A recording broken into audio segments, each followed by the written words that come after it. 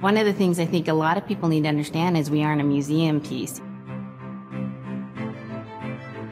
The Inupiaq people are a living people and a living culture. Even though we're in northern Alaska, which covers this vast area from Nome all the way over the Canadian border, is that there is this extreme value of interconnectedness and interdependence.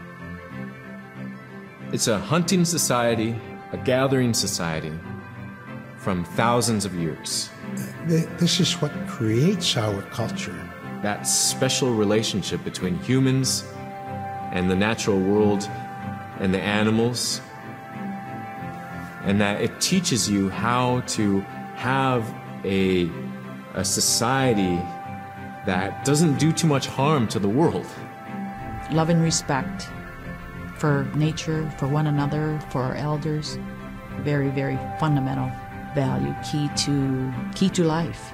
Our values are something that bind us all. The importance of sharing with one another, the importance of spirituality, and the connection to the land, our traditions, how we hunt, sharing of stories and songs and dances. I'm Inupiaq. I'm from the Arctic Ocean. I am Inupiaq. It's very important to me. It's, it's who I am as a person. And we're very proud of who we are, and we want to continue that.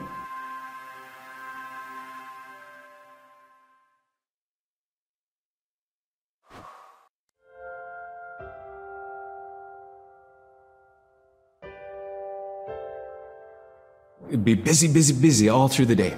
You get up and you just go right to work, you know, right to work. There's always something to do. There's never any idle time. The only idle time we had was after we eat and before we go to bed. One of the older people would just be just relaxing, laying down there and saying, you know, it'd be really nice to hear a story. And then just organically, someone would just start telling a story. Storytelling for the Inupiaq people is very important because it not only created that sense of community, but is a way to pass on wisdom to the next generation. It was like TV, you know? it was just like, it was as good as anything, you, any movie you've ever seen. And the storyteller told it so clearly that it was just as powerful as any of the greatest movie blockbusters you've ever seen. There was a reason behind the stories that we were told because they held traditional knowledge. They held things that we might need to know in life, whether it was about how to find food or how to survive, or it was about well being and the importance of connecting with people and being a good member of the community. We all do stories, we all live in stories. We all tell stories to our friends, and, and they need to be told. They need to be heard.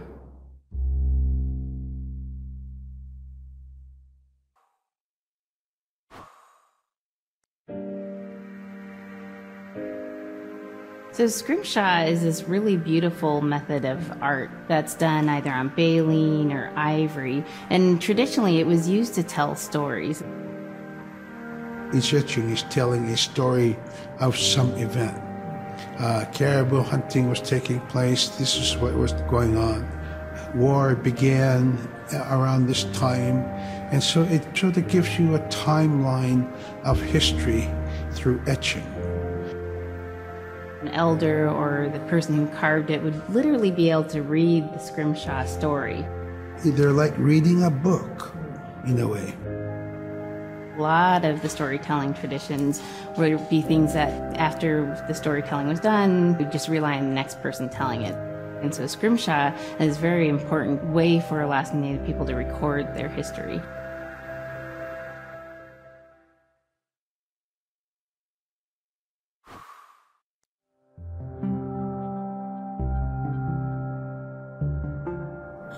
When I was growing up, uh, my grandpa uh, had a pet white fox.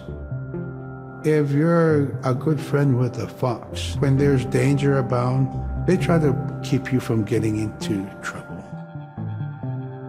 They pull tricks here and there, and Foxes are uh, like uh, spoiled little kids in a way.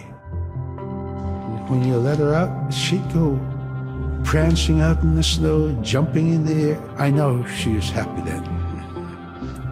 Come running at me and jump on my chest, knock me backwards, lick my face, and, and I try not to let her. So that was my memory of my grandpa's pet fox.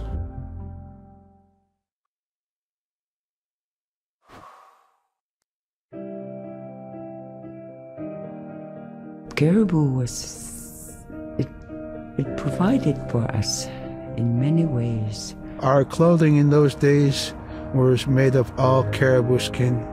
I grew up wearing caribou pants, mittens, caribou skin mattress, blankets. Some people had boots that were made with wolf leggings, sealskin sole bottoms. Baleen was shaved to make insoles. They kept us quite dry and warm as well. But the caribou skin clothing was the best. We would get as many yearlings as we could for our outer clothing. And for a heavy winter, we would get caribou in February or March because the hair was the longest and the skin was the thickest, and we would use those for our winter gear. With that stuff on, you could sleep outside in 50 below and it wouldn't bother you a bit.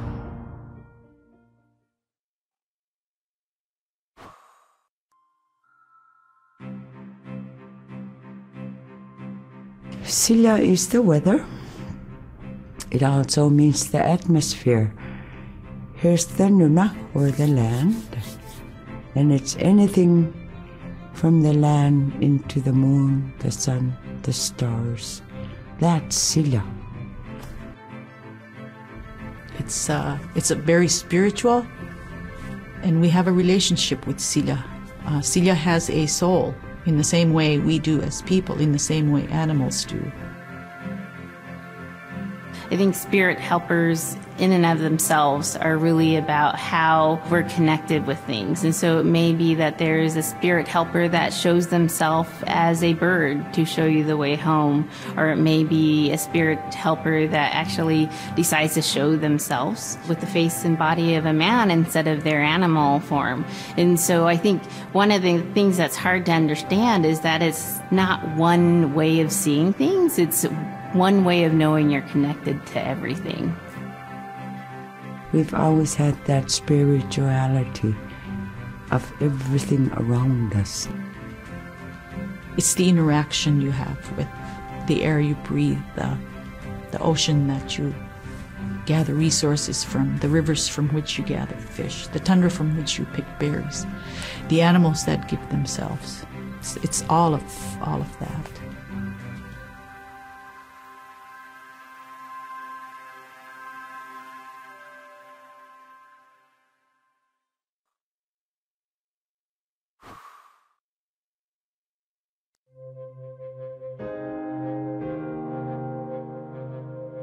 In the winter, when we were traveling, we didn't build sod houses, we built snow houses. In Canada, they call them igloo, but here in Alaska, we call them apuyak. We'd do a day of travel, and then we'd make an apuyak. The next day, my father would set traps, spend the day there, rest the dogs, give them something to eat, and then the following day, we continue to the next place. We'd go to my dad's sister, who had a house at Dubarg. They had a small sod house over there. We didn't have to do anything. We just visit with them, and my dad and my sister were glad to see each other, and they'd talk away while us kids played outside or go to sleep. By the time we get back to our home, my father would leave us with our aunt or with my grandmother, and then he'd start on his trips and go check his trap line we were not into 85 kind of time, you know. We're in a total different kind. We're in ecological time.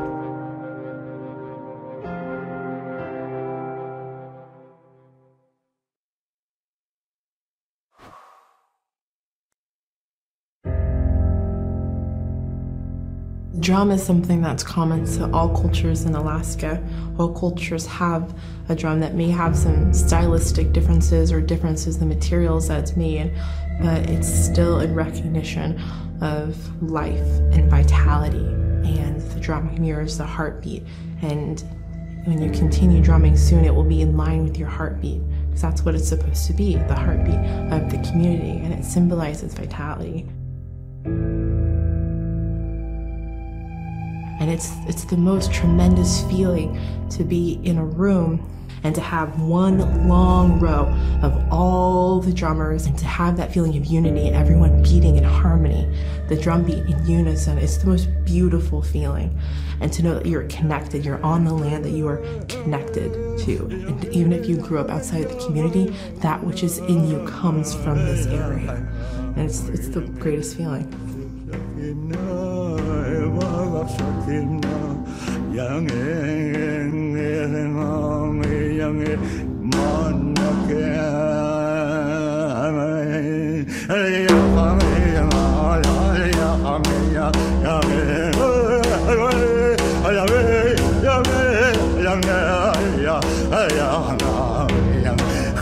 سكننا بابا سكننا يا يا يا يا يا ما نكيا Man, I went at it and look what happens. oh.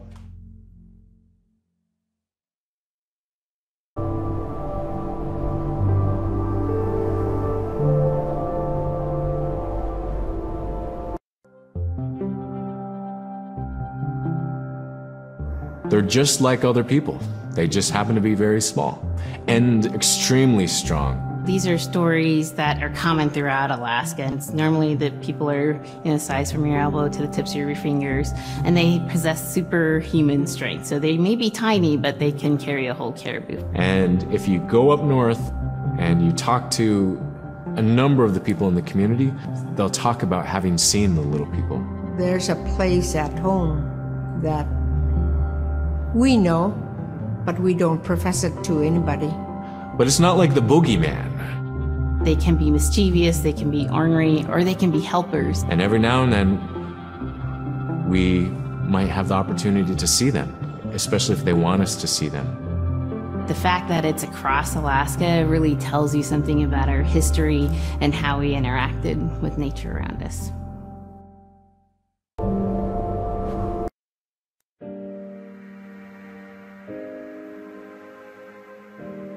The bola is what we call kilamitan. And the kilamitan is made out of braided sinew tied on to some heavy bone which you could twirl. In my case, we're catching ducks. When we're out uh, whaling, sometimes the ducks start flying. And they're good for duck hunting. You know, uh, if you're a whaling crew, you can't make too much noise. So you can't use a shotgun for um, getting some duck soup handy, you know. So bola was a really handy weapon to use for catching ducks. You know, the ducks fly in, you throw it up and tangles up the bird, and down they go.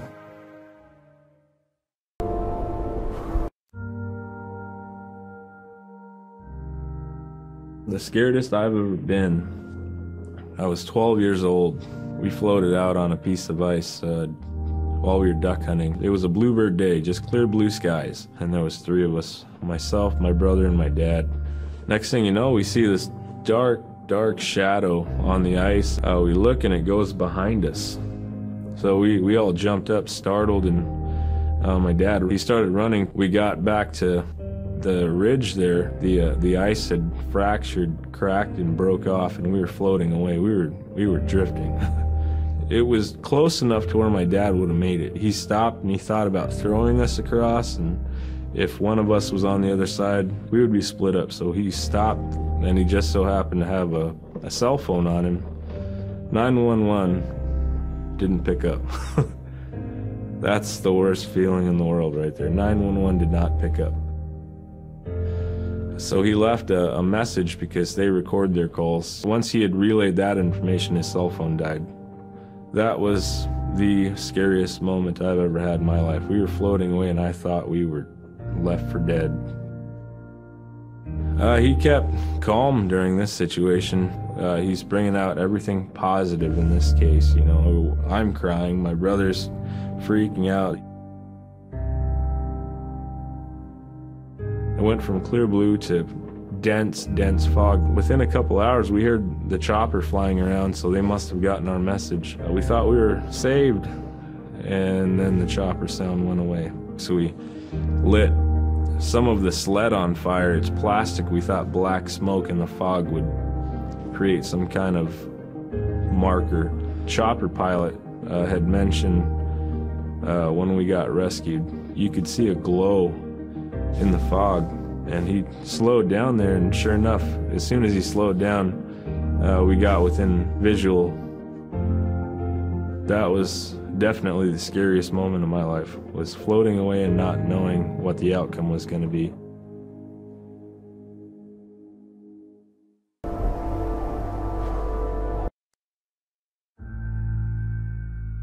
We're very much aware of the climate change. And it's been for many years, even before climatologists were noticing this change, Inuit were already saying, Sila alangokto. Our climate is changing. If the heat is going the way it is right now, for us it's going to be pretty bad. Different birds are coming, and they're coming earlier, and sometimes rain is more than what we want because when there's more rain, we know it's going to melt the permafrost. In my time as a young whaler, when I was nine years old, we're hunting from ice that was about 25 feet thick. And there's giant icebergs already floating, coming by. That was the first signs of a changing climate. Ice that never broke before was now moving. Now, here it is 50 years later, we're hunting whale from ice that's 18 inches thick. There's no more thick ice. It's creating a malfunction in our whaling season, is, is what it is. Actually, more than that, all seasons in general. I think we are more scientists than more people will realize. We have more knowledge of those things than people will ever know.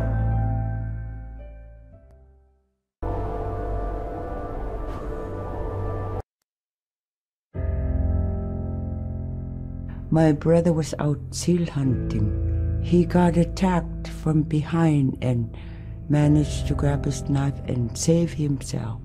When he came to realize, oh no, it's a mother. We've always known traditionally that we avoid killing a mother. It's always been sacred to us to protect them. He had to present himself to the council, and so he was given the job to mother the baby, and we kept it. It got so big, it went over the barricade one day and got to the dog food, and that was an indication that, oh, oh, brother better go teach it how to survive on its own. So he did. I really got attached to the bear because I more or less grew up with it. And some days when brother took him walking, once in a great while he'd put me on the bear and I would ride on it like a horse. Just, I was just happiest little girl in the world.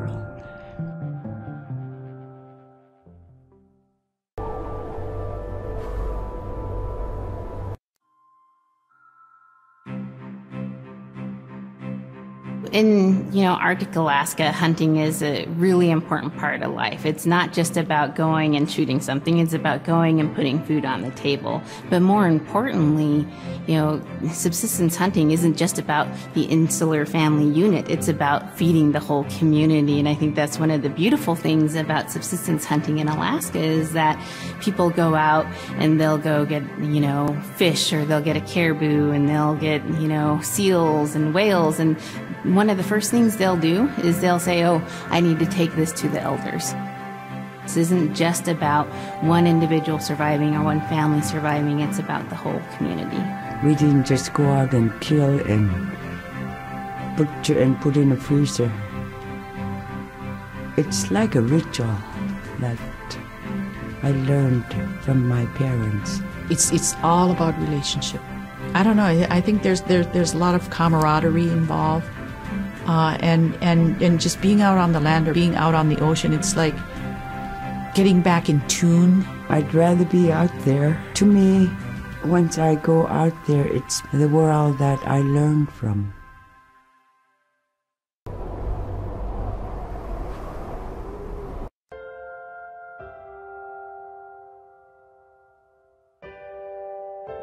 Now we spend all our time out in nature. You get very intimate with the world. And over time, if you're living that life, you start to sense that everything has a spirit. There's a consciousness in everything. Everything is alive. If everything is alive, then, then we want to respect it. And if we're going to use it, we want to use it respectfully.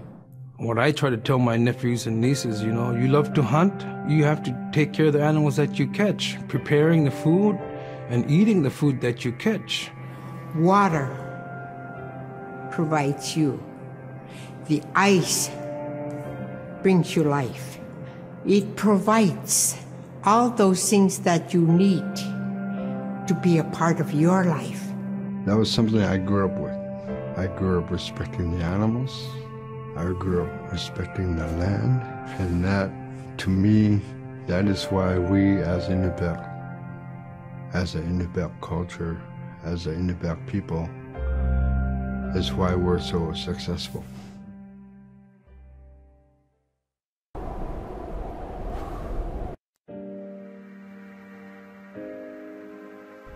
I think most central to the ideology of the Inupiat is, is the idea of sharing. Being able to feed the community, feed others.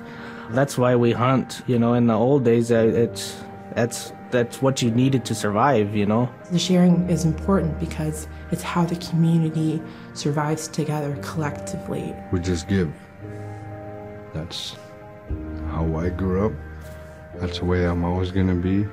Because of who we are, we always think about other people first. If if our people didn't share in you know in the old days, we wouldn't have survived in this harsh you know climate environment.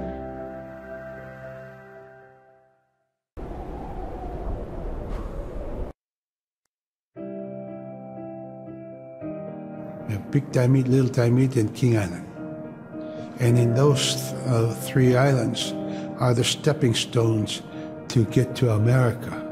So, King Island is this absolutely beautiful place off the coast of Alaska. And if you can imagine being on this really kind of rocky island that kind of shoots up from the water to these cliffs, and then all of a sudden you see these stilts, and then you look up and there are these houses. They were built on the cliff up high because of the ice. Being an island in the Bering Sea, you have ice that's being pushed by the winds onto the island. So it's going to pile up uh, 50, 60 feet high. Structures are still there today, and uh, people have returned to King Island. It's a growing community as the people return back to their island.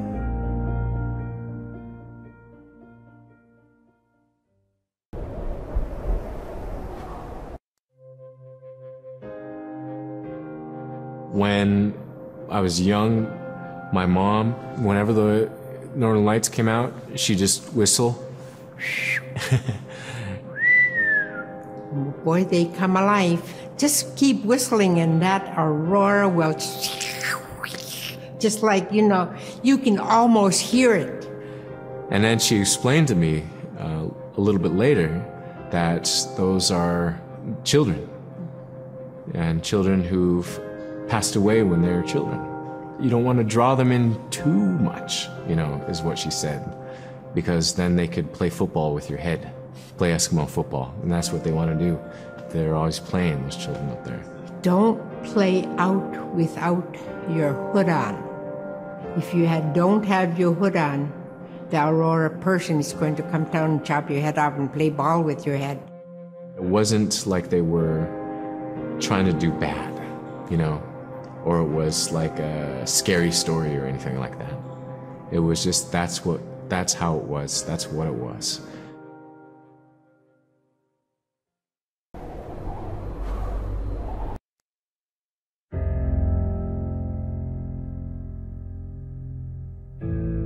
In the month of November, there's no sun.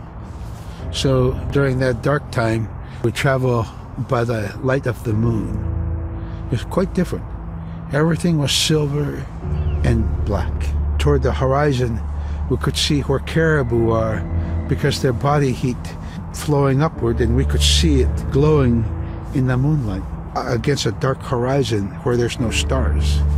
If somebody yelled, you could know who yelled from where the sound came from, but specifically where that cloud of their breath went up and it, it glowed in the moonlight.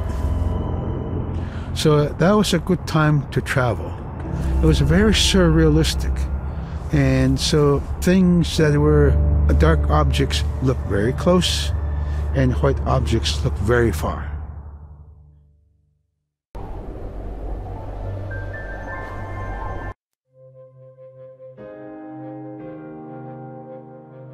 We are taught that there's no hierarchy.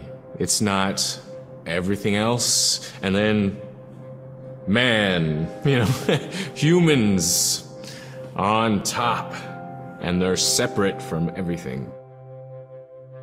We're taught that everything is, is equal and that all the animals have a human form or can be seen in a human form. And so they have just as much or more intelligence. You know, in fact, have a lot to teach people. And so that's how these transformations can happen. It's if the animal wants you to see it in its human form. There's a story where a man comes up to an ice hole and then there realizes there's there's another man in his parka that's that's got stuck in the net, you know, and is just stuck like that. Oh, can you can you let me out? Please help me, you know. And so then he lets the man out, but then realizes that was actually a, a seal. That was a seal man, and just because that seal wanted that help, that seal allowed itself to be seen in human form.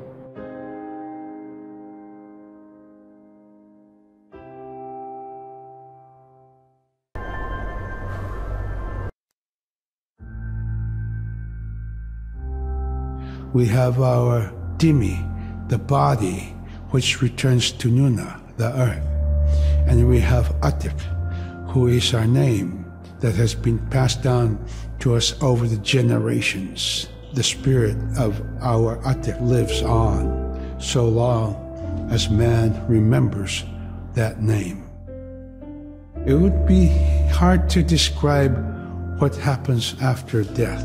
The feeling is that when our Anerenek returns to Sila, then that may be reborn if the name is passed on to a new child who can then retain some of the memories of the original name. And so it's not uncommon for grown ups or adults to meet a child who has the same name maybe as their grandmother and say, Hi, Aka, which means grandma, Hi, Appa, or Hi, little mom, or Hi, little dad, because it's the traditional belief that the soul, you know, is continuing on.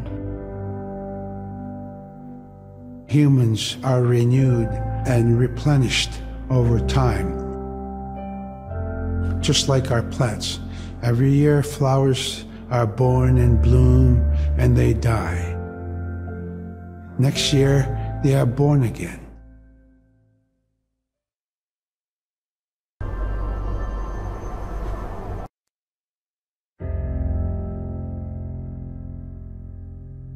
A recurring type of character in Inupiaq stories is the manslayer. And the manslayer is kind of this bad guy. And I think really what's at risk when the manslayer comes into story is the livelihood of individuals and the whole community. And so the manslayer is really used as a way to say, don't act only for yourself, always hold the community in your heart.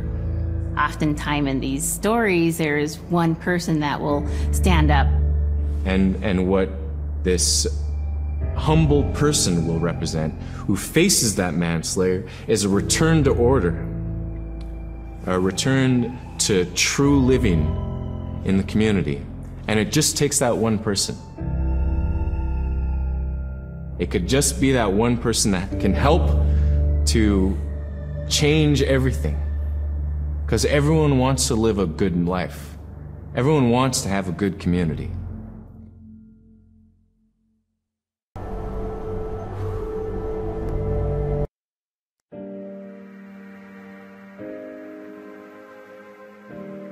With regard to the environment, the blizzards have been one of the key elements that have impacted the survival of people, in, especially in the hard uh, winter.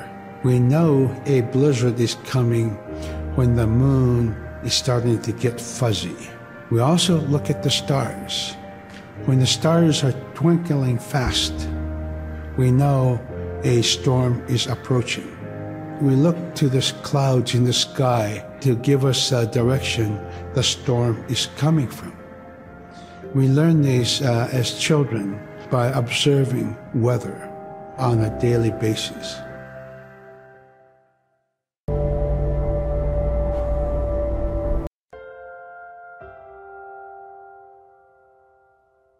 With the story of Kunuuksaayuka, told by Robert Cleveland, it's just a it's just a masterwork. It's a well-known story among the Inupiaq people, and in our case, of producing a video game that really reflects indigenous heritage. It's it captures the imagination, and it's something that you have a very specific kind of task to do. There's a blizzard you know, and it is just a non-stop blizzard that is overpowering the people. And there's one man that wants to figure it out. And in our case of the story, it's a girl that wants to find the source of that blizzard. The blizzard man, it's like that is the physical embodiment of an element of nature. And so there's a person that needs to go up and take away that, that adds, that's chipping away that, that snow in that community, the person least expected is the one who stands up and makes the difference. Humility is, something that we value. And where that comes from is the idea that you are not the biggest thing in the world.